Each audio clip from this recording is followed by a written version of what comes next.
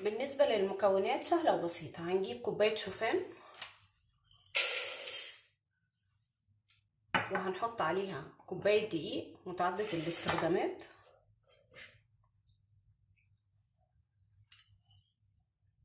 وهنحط عليها بيضة واحدة بس. وحط عليها كيس فانيليا.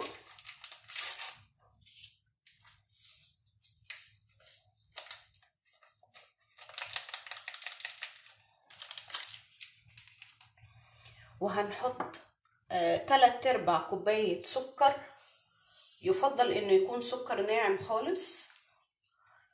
وهنحط عليها برضو تلات أرباع كوباية آه، زيت آه، أو زبدة زي ما تحبوا يعني. وهنحط بيكنج باودر بس هنحط كمية قليلة قوي يعني ممكن نحط نص معلقة صغيرة.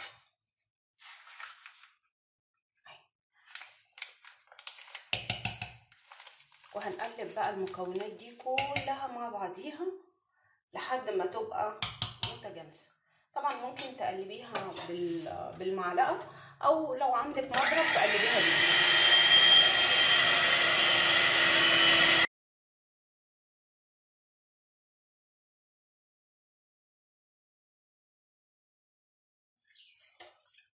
زي ما أنتوا شايفين كده.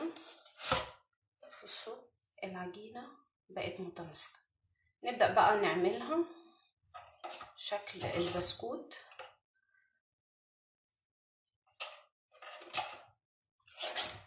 طبعا ممكن نفطر بيه الصبح مع الشاي أو مع اللبن. هيبقى جميل جدا وبيشبع بيخليكي تحسي بالشبع لفترة أطول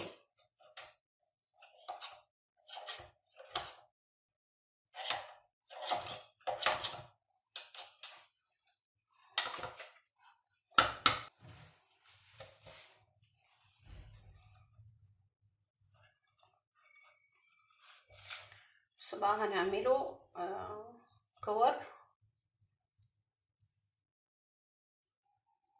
كده. وهنحطه على الصاج على طول ونبططه كده علشان إيه؟ نعمله آه بسكويت يعني دوريات بالطريقة دي كده. وبعد كده هندخله الفرن. آه طبعا الفرن يكون سخن قبليها وعلى درجة حرارة 180 ونسيبه لحد ما آه لونه يحمر.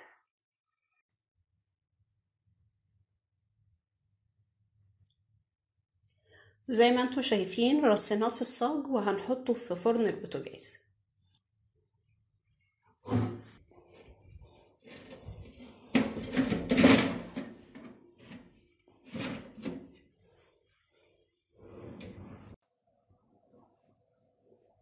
وادي شكل البسكوت بعد ما طلع من الفرن زي ما أنتوا شايفين.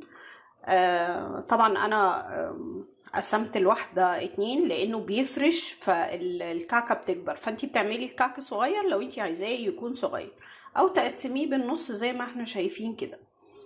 آه بالمناسبة هو في, الفرن آه لما بي بيتحمر كده من الجناب بتطفي عليه وبعد كده بيصفر كده بتسيبيه في النار طبعا بيبقى طري. بعد كده هو بينشف زي ما إحنا شايفين كده بيبقى عامل زي البسكوت السادة. بينشف بعد ما بتطفي عليه لكن انتي بتطفي عليه بيكون طري من فوق كده وهو محمر من الجناب كده. طبعا لو انتي مش عايزاه أحمر قوي بتطفي عليه أول ما يصفر بس. ودي طريقته أتمنى إنها تكون عجبتكم. ولو عجبتكم like و share للفيديو لأصحابكم علشان يستفيدوا زيكم. وأقابلكم إن شاء الله في وصفة جديدة من وصفاتي والسلام عليكم ورحمة الله وبركاته.